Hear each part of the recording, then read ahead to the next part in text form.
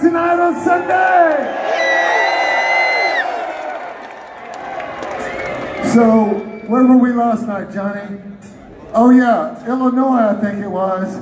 And uh, we told them we were going to be here tonight, and we said to them, we said tomorrow night, meeting tonight, is going to be the fucking kick-ass night of the week. What do you think, St. Louis?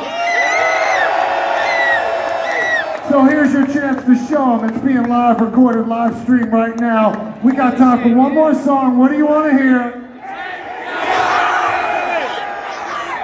I don't know. I don't think we can hear you back there. One more time, St. Louis. What do you want to hear?